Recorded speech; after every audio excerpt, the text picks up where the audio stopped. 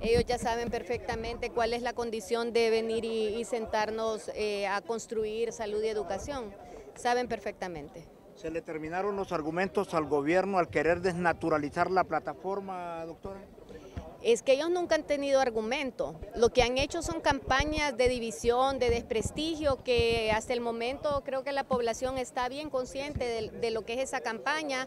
Ahora vienen con las represiones laborales, que también es algo dentro de la estrategia que tienen ellos de desarticular esta esta, esta lucha y después ahora nos van a echar a los derechos humanos cuando los de, ellos son los que han estado violentando el derecho humano a la salud y a la educación porque no han suministrado suficientes medicamentos, insumos, no hay suficiente personal ahorita, más bien los médicos que estamos ahorita en, en, en, en, en asambleas informativas estamos trabajando el doble para precisamente para cubrir bien todas las emergencias y, y todas las áreas críticas. Entonces, los violadores de derechos humanos es el Estado y nos viola, le viola el derecho a la salud, a la educación, a la población y nos viola los derechos laborales a nosotros. Hoy vemos que en esta asamblea la plataforma se ha fortalecido, otros sectores se han incorporado.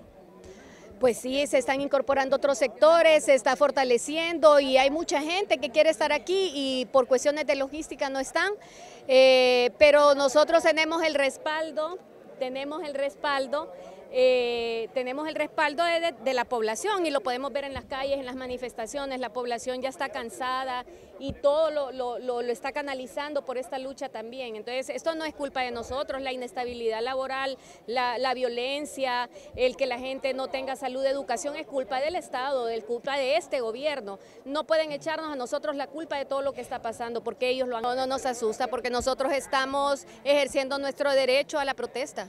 A nosotros nos ampara la Constitución. Si los que nos están violentando son ellos. ¿Han sentido el respaldo del pueblo hondureño, doctora, en las acciones desde la plataforma? ¿Lo ha sentido usted? Sí, ¿verdad? Entonces sí, tenemos el respaldo. Tenemos el respaldo de todos los sectores. Ahora, do doctora, el, el gobierno de la República, ¿por qué se empecina en no eliminar esos PCM?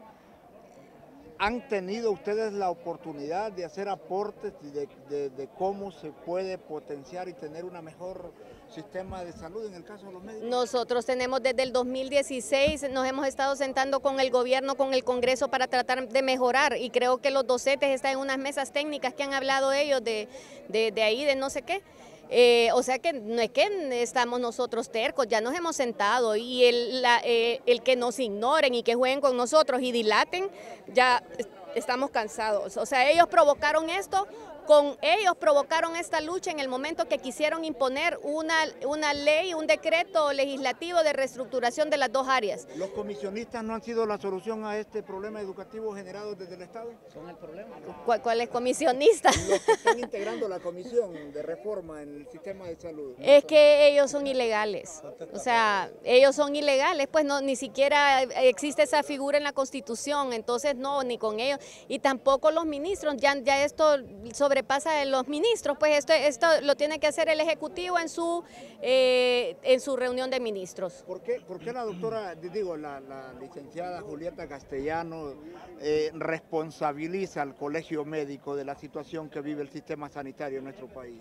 No, eso denota eh, un poco de inmadurez de venir y, y, aceptar la responsabilidad en los hechos, ¿verdad?